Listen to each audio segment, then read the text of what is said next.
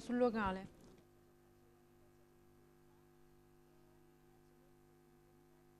Di nuovo insieme per questa terza parte della nostra rassegna stampa abbiamo ampiamente parlato di quelli che sono i fatti più rilevanti di giornata, purtroppo ancora un ennesimo episodio di estrema violenza con il ritorno del boia della GIA, della morte di un altro giornalista, un altro inviato, una morte ancora una volta terribile. E lasciamo quindi gli esteri ma anche la politica nazionale incentrata soprattutto su quelle che dovranno essere le modifiche modifiche da apportare al comparto dell'istruzione pubblica per occuparci adesso di eh, notizie di stampo locale. Lo facciamo partendo con la questione rifiuti, lo vediamo sulla prima pagina di Ostia Litorale, l'inserto del messaggero dove viene affrontato quello che è il piano anti-emergenza, un'emergenza che ha fiaccato la capitale per eh, ben due volte negli ultimi mesi, una capitale che non ha saputo fronteggiare a quello che era l'accumularsi di rifiuti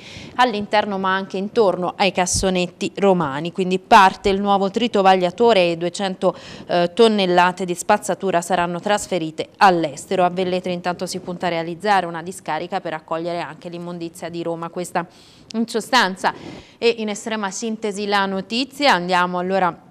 a vedere più nel dettaglio di cosa si tratta, è pronto il piano anti-emergenza dell'AMA per il prossimo autunno, mette in funzione il nuovo tritovagliatore di Rocca Cencia e gioca alla carta del trattamento di 200 tonnellate fuori Roma, puntando anche sugli inceneritori all'estero, dopo le richieste di Spagna, Svezia, Danimarca e Ungheria. Altri 500 operatori eh, lavoreranno per la differenziata, ma intanto a Velletri spunta un progetto di un privato che vuole realizzare un eh, TMB, un impianto di compostaggio e una discarica. All'interno ci sono ovviamente anche altri approfondimenti che vedremo più tardi.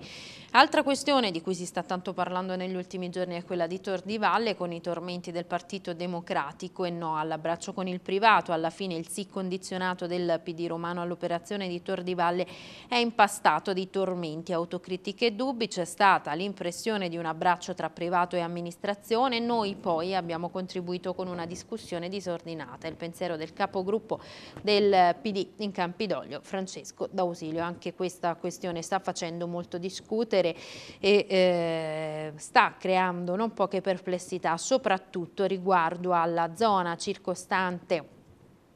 il, ehm, la struttura in questione e alle infrastrutture che al momento mancano, sono mm, totalmente carenti. Il caso quasi 800 verbali per la sosta, siamo invece ad Ostia dove in, per l'isola pedonale sono state emesse multe per 40.000 euro, un vero tesoro, ecco qui proprio nell'immagine un'auto parcheggiata e rimossa dai eh, vigili eh, urbani. Altre notizie dal litorale, ma prima però andiamo sul web per occuparci ancora un attimo di capitale, Alessandro. Sì, Giulia, e andiamo a Roma, sgomberato il Cinema America che era stato occupato di recente, rischia di scomparire, ha parlato di questo anche Sorrentino, ragazzi eroi, con loro la cultura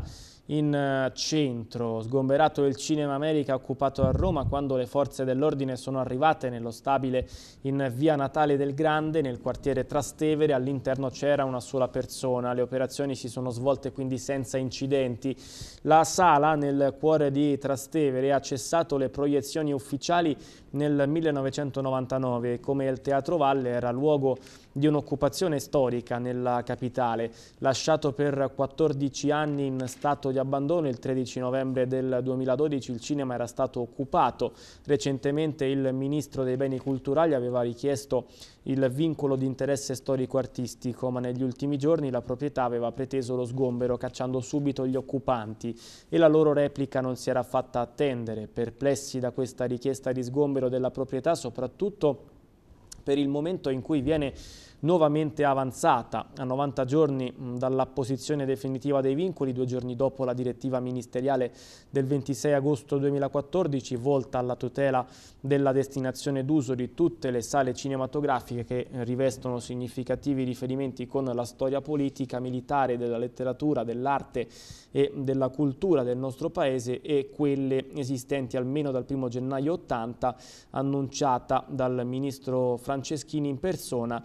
al Festival del Cinema di Venezia, citando proprio come esempio la vicenda del Cinema America. Il, qui intanto mh, ci sono alcuni eh, scatti dello sgombero, vedete le operazioni che si sono svolte in totale eh, tranquillità. Il 29 luglio infatti vi aveva fatto visita incontrando gli occupanti proprio il ministro Dario Franceschini comunicando che il MIBACT aveva avviato la procedura per apporre il vincolo alla destinazione di interesse storico-artistico in relazione alla presenza di mosaici, opere realizzate negli anni 50 da Anna Maria Cesarini Sforza e Pietro Cascella nella sala di Via Natale del Grande.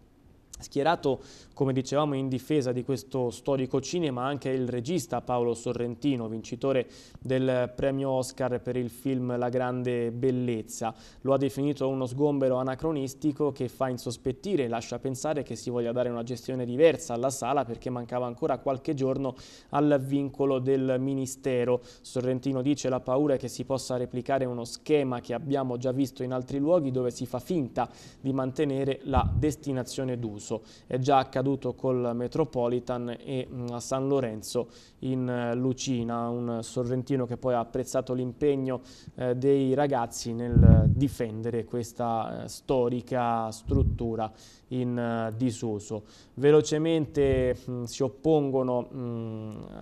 i cittadini romani e non solo eh, al salasso della nuova ZTL, rincari record è scoppiata una rivolta, oggi il TAR decide sugli aumenti dei permessi in centro, cifre ridicole per le auto del eh, Vaticano e eh, ancora dalla capitale si parla mh, di cronaca, uno shock aggredisce un uomo, gli taglia un orecchio lo conserva a casa come un uh, trofeo, lo aggredì con un taglierino senza motivo e dopo averlo immobilizzato gli tagliò un orecchio, una violenza inaudita che nasconde una realtà ancora più agghiacciante. L'uomo, un ventunenne romano, ha conservato l'orecchio in casa per mesi in un barattolo pieno d'alcol come fosse un trofeo. Il fatto risale